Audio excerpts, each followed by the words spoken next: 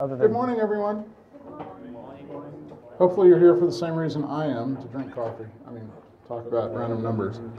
Um, This is not the first time that a talk about this particular project has happened at DebConf. In fact, uh, two years ago in Portland, uh, Tom Marble gave a talk about uh, sort of the need for uh, having good uh, sources of entropy and uh, why it was that Keith and I had begun a project to build a good, uh, high quality hardware random number generator. Uh, it so often happens in life, uh, we get a little distracted between then and now, but um, to sort of jump to the very end, uh, we're to the point where uh, we've finally gotten to a design that we really like. We are in the middle of a initial significantly sized production run of the devices. Uh, unfortunately, best laid plans and all that, we had hoped to be here with the production units, and I guess at this point we're still two or three weeks away from uh, actually being through that first production run. So uh, we have a handful of devices we can show people today. Might even try to demo before we're done. Um, but we don't have huge quantities of them to sell yet, which I'm sorry about. It's a little unfortunate, but that's how things have worked out. So uh, I guess the first thing I would say is if you want more sort of theoretical background on sort of the point of random numbers and why they're important uh, in uh, our computing lives, I would recommend you go back and find the video from the talk that Tom Marble gave at DebConf in 2014. Uh, we don't have the time or the inclination to try and repeat all of that today. This is going to be much more about the actual thing that we've designed and built. But I think a little bit of background is probably worthwhile. Um, the, the, the, real, the, sort of fundamental thing here is that cryptographic security really depends on a robust source of entropy. This is because cryptographic security depends on our ability to have keys that people can't trivially guess and various other things. Um, and you know, entropy is, the, is sort of the notion of a source of randomness that can then be applied and taken advantage of in the rest of the system. Uh, in Linux systems, our source of entropy is usually this pool that's inside the kernel, and where it gets its entropy, entropy from varies. But uh, if you don't have some other explicit source of random numbers on your system, it's coming from things like the timing of keystrokes or disk operations or things like that, which are reasonably random. Uh, but it's just unfortunately the case that most of the computers that uh, we have and use don't have a robust hardware source of randomness. Um, and lots of other people have worked on this before. Some of the devices that I, am sure some of you in this room have stumbled over, uh, things like the, the entropy key. Um, that was a lovely device. Um, I had one, uh, past tense, unfortunately, because like so many things, I don't have anymore that I used to have. Um, but those were lovely devices. Unfortunately, they're no longer available and the design wasn't open, so there's no straightforward way for us to duplicate that. There are other um, products that are interesting and have um, uh, various characteristics that we think are really cool, but for one reason or another, they're just not quite exactly uh, what we were looking for. So the goals we had were, you know, first and most importantly, we wanted a source of truly random bits. Um, and we'll talk a little bit about what that means and show you some uh, measurements to try and sort of prove that we think we've done the right thing there. Um, uh, Keith and I also really wanted this to be automatically usable in Linux systems. Uh, one of the things that the uh, entropy key developers did a great job of was ensuring that those of us in Debian had easy access to package software that was in the distro that you could just install the right package and you had the pieces you need to make it all work. And that was really cool. Um, but when we started thinking about the things that we wanted to guarantee and didn't feel the need to guarantee, um, and sort of where the trade off was in our design, the notion of making it so the Linux kernel, sort of the upstream kernel, could just do the right thing when it discovered that one of these devices was present seemed like such a simpler deal and something that would uh, make it much more likely that more people would be able to actually take advantage of this. Um, because we are who we are, it must be a completely open hardware and software design. Uh, and in fact, um, when we get to the end of the talk and you see where to go find things, uh, the schematics, printed circuit board, artwork, bill of materials, uh, the complete source code tree and all that is available on our website right now. In fact, it has been for a while. Um, we want the device to be secure against software hacks, though. What does this mean? Well, what we've built is, a, is, as Keith will show you in a minute, is a physical device that plugs into a USB port. And it has a microcontroller in it that has code running it. Um, when we initially produce the device, we flash that with code. If you want to reflash it later, you can do so anytime you want over USB using a utility that's already packaged in Debian. But you have to take the plastic cover off the box and you have to short two holes in the board together in order to enable reflashing. So nobody can sort of randomly spoof your device by from some distance reflashing. You know, if they break in your system, they can't just reflash your random number generator with some other code. Um, I guess they could reflash something else with your random number generator code, but that's all getting a little wacky. Um, but our device, at least, can't just be broken through an attack, a remote attack on the software. Uh, and we want it to be as inexpensive as possible because, again, this is all part about, you know, part of believing that the world needs more entropy. Um, and we'd like lots of people to be able to afford and use these. So um, this is one of those devices where on some level, if you get it right, you could sort of charge an arbitrary amount of money because people who want this want it. But from our perspective, it's really important to have these be as widely available as possible. But the one really big decision we made, and it kind of goes into our thoughts on open hardware, is that we were not trying to protect and make this secure against hardware attacks. Um, fundamentally, if somebody has physical access to your device, then we're not guaranteeing what happens after that. Uh, in particular, as I've already mentioned, if they have physical access, they could reflash it at the very minimum and they could certainly do other things to it as well. That also means we've not done things to try and you know, dramatically uh, environmentally harden the device. We don't pot it. We don't do all that kind of stuff that people sometimes do when they're trying to make things secure. In terms of the actual hardware device, um, uh, two, two and a half years ago, um, I designed a prototype and I tried to do something really, really clever in the design of the actual uh, noise source. And as often happens when you try to be a little clever, um, it didn't quite exactly work right the first time. And for a lot of reasons having to do with where we were in trying to build a house and all of this, I got distracted and just didn't get back to it for a very long time. Uh, Keith picked it up, and all of the hardware work on this uh, since then has been pretty much led by Keith with me and other folks chiming in from time to time. So I'm going to let Keith talk about the hardware. Okay. Spacebar. Spacebar. Spacebar is always cool. So this is the board that we, this is the device that we've built. Um, it's a tiny little board, about the size, kind of the size of a USB plug connector. Um, and the board actually was, uh, the design of the board was predicated on the box that I found. Um, when you start actually trying to build hardware, it turns out that the hardest thing to do is to find a box. And a lot of people try to build, try to think about, okay, I'm going to build a device, then I'm going to find somebody to manufacture an enclosure for me. Um, well, if you build if you build a million of them, that's pretty plausible. And you look at uh, Bunny Huang's um, articles on, on his adventures in, in getting injection molding for his laptop prototypes, right? It was like, okay, so in the 99th iteration of the you know machined metal enclosure or uh, mold, we eventually got the, uh, the, the things to work right. It's like, well, that cost about a bazillion dollars. So we found this tiny little enclosure. And I thought, okay, uh, how can I get something to fit in this tiny little enclosure? Well, the first design that, I, that we did after uh, with the new um, noise source uh, fitted this size enclosure. And the reason for that is the processor was huge. Look at the size of that processor. It's almost a centimeter on a side.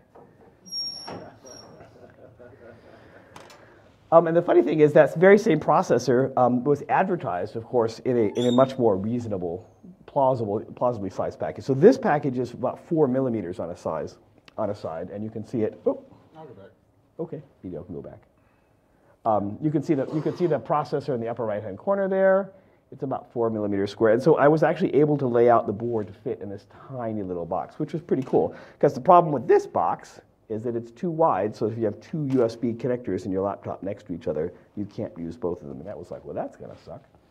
Uh, so I managed to get it to fit in this tiny little box. Um, the other interesting part, of course, is that Bdale's design had a really uh, uh, fun noise source, was a, a little Zener diode, um, reversed by a Zener diode. And then, of course, BDale, being an actual electrical engineer, unlike me, um, designed an amplifier with a transistor. And I looked at that and said, oh, a transistor, scary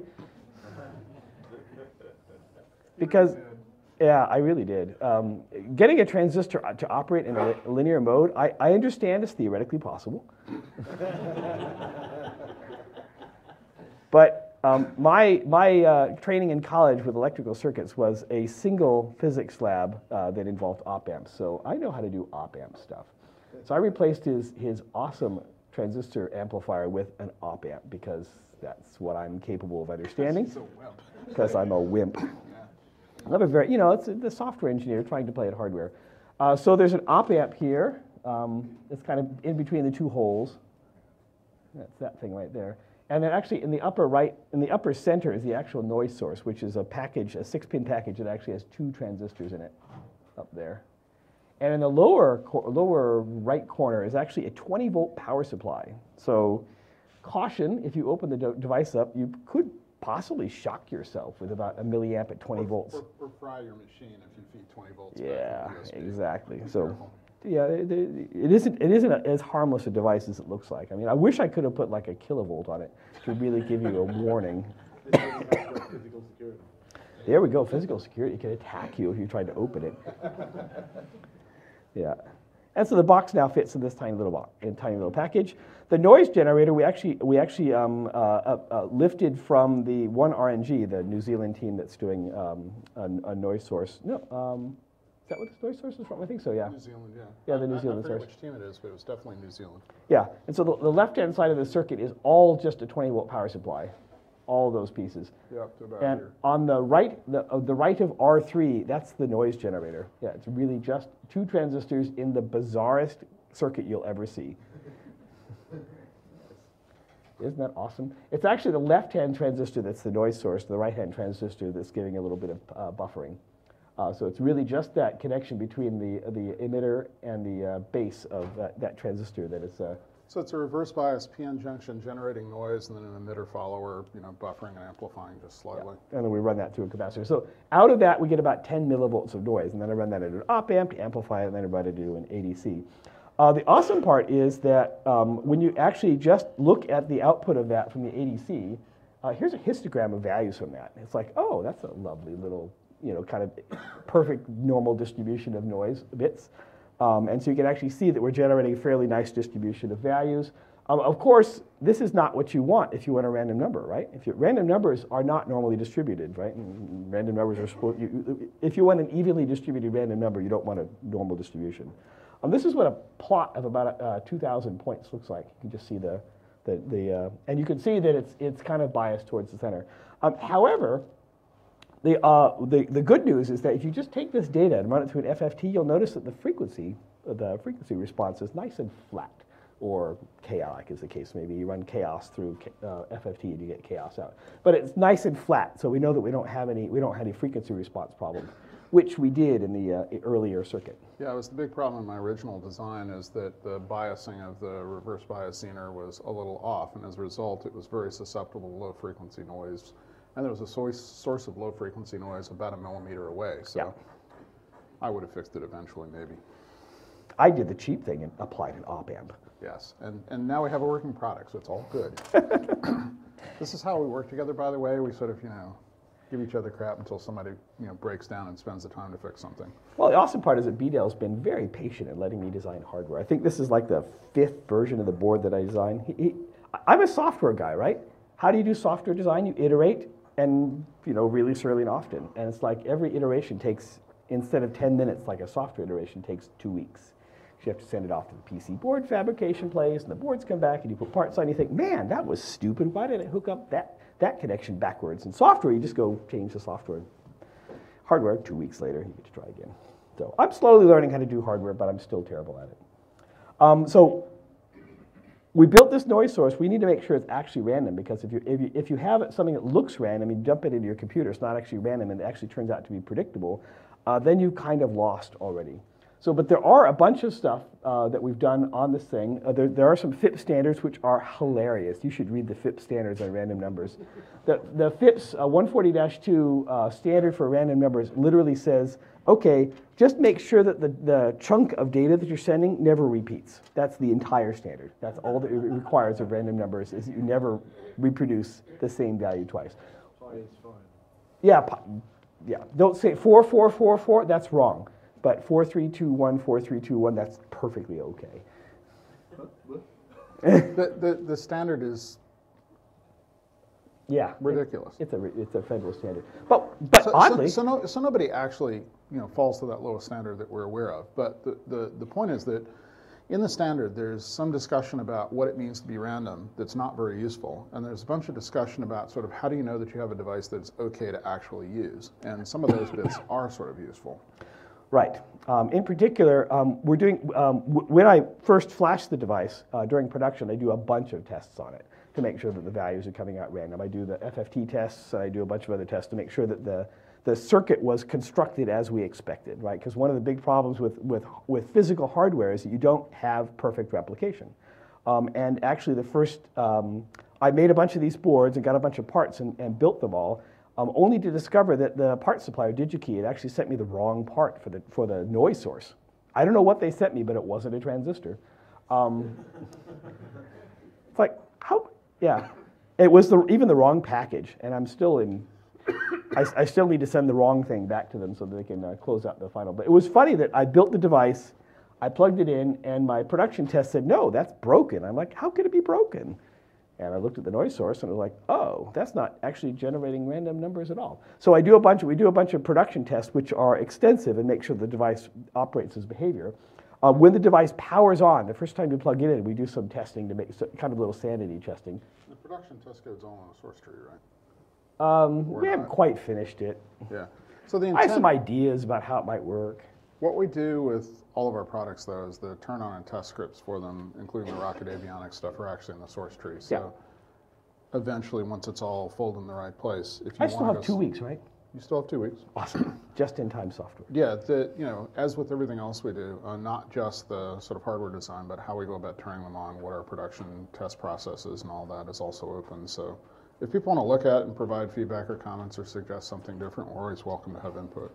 Yeah, I've actually been working with a, um, a friend of mine who's a prof- professor at Portland State where we had uh, DebConf a couple years ago. And he's got some students off generating some uh, useful tests. There is a, a, an interesting random number generator test. Um, I'm trying to remember the name of it. It's a, it's a huge, long suite of tests um, uh, that, that I've run on this thing, and it passes that just fine. Um, it, it says that there are 7.99992 bits of entropy per byte.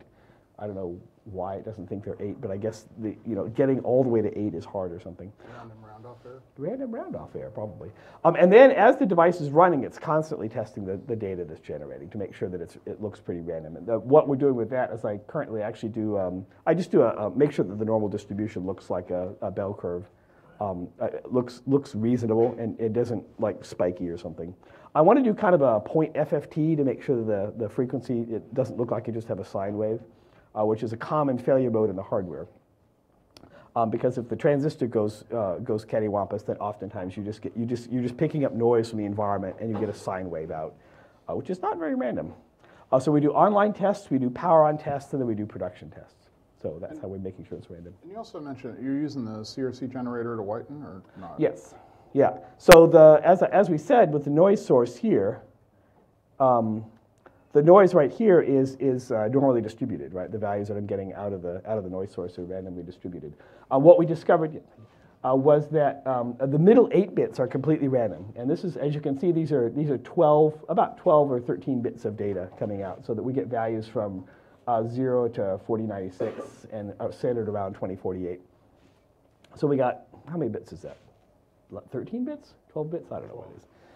12 bits. Yeah. So um, we get a, we have 12 bit values and then distributed around. But if if you throw away the top bit and you throw away, and uh, then the, the bottom eight bits are really quite flat.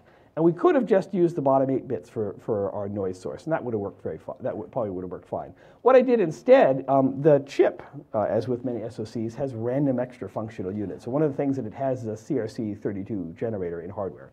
Uh, you dump data in and you pull data out. It's this, you know, one instruction in, one instruction out. So I take all all 16 bits out of the out of the out of the noise value that I read from the ADC, and I dump that into the CRC generator and pull eight bits out. And because I know that the noise source has at least eight bits of entropy, I know that that's a valid thing to do because no matter what, which eight bits I pull out, they're going to be uh, they're going to be random. So we're using that that uh, CRC to kind of whiten or flatten the data so that we get truly flat data. Um, these, this is actually, uh, this of course is a, a plot from the, um, uh, from the raw source. And, but if you look at the plot from the whitened source, it's completely flat. All the values are equally distributed. Uniformly distributed randomness, which you, know, you can get into arguments with people about what's really random, but what you seem to really want in the cryptographic world is a uniform dis- di- distribution of values that are not predictable. Right. Okay. So to sort of wrap things up, um, as I already mentioned, we have an initial production run of 1,000 of these currently underway. Um, it's worth, I've been asked by a couple of people, where are we having them built? Um, to explain just briefly, the uh, microcontroller chip we chose is one from ST Micros that we've used for some other things. It has a, it's a tiny little, uh, ARM, this one's a Cortex M0 Yeah. and it has 32K of flash, and it has a tiny little inbuilt USB bootloader thingy.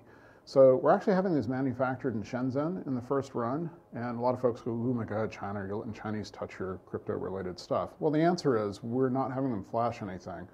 Uh, the boards come to us and we're doing the flash and the production test. So I guess on some level of theoreticalness, somebody could be putting different chips in than the one we, ones we asked for and spoofing us at a very deep hardware level, but I kind of doubt it. And frankly, at some point, you have to decide where in this sort of chain of, of importance versus ridiculousness you want to fall. Uh, I certainly don't want to start with sand and a heat source to, to make chips. So um, we think this is a pretty reasonable place because we're not depending on anybody else to put the code in that's in the device when we ship them. Oh, and by the way, the reason that we think we meet FIPS level two is that it has to be tamper evident. And um, you have to cut the label to get the box apart. And uh, it's almost impossible to cut these labels without just sort of destroying them. So, um, eh, we think it's tamper evident. It's certainly not tamper proof. Um, we do expect to have this production run delivered to us in the next couple of weeks. Um, as I said, we just kind of missed having them in time to be here. Uh, we really had hoped to be here with you know a big bag of them uh, uh, for sort of anybody that was interested. Uh, we've decided to set the quantity one price at forty dollars US, um, and then to, to discount for quantity. Um, if people are interested in real quantities of them, let me know and we can can talk about that.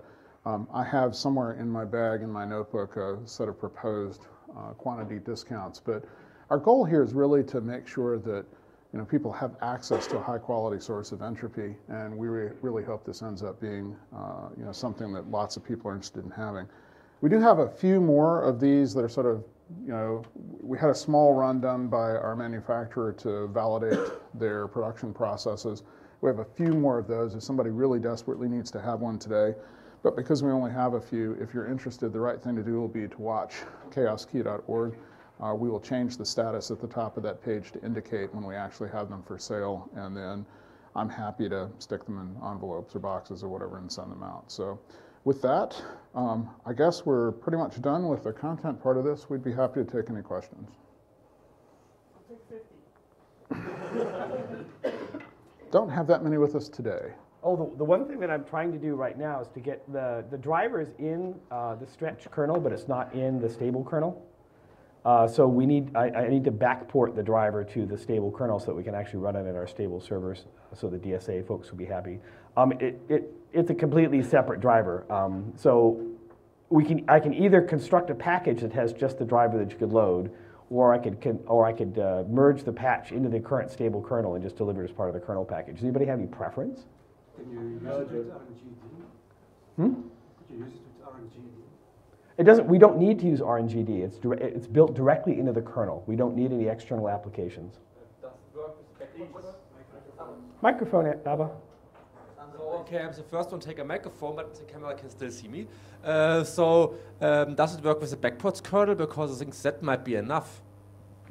Um, the driver should just compile. It's just a USB driver, so there's nothing So- magic in it. But it's not. It's not What, in the, what, in what the version, kernel what, yet. What version is the backports kernel? We don't know. Well, It's just basically the same as uh, testing. oh, Yeah. Four dot something. then it's already in the backports so kernel. then I think that's the answer to that. Um, the, uh, I think the DSA wanted to have it in the stable kernel, yes?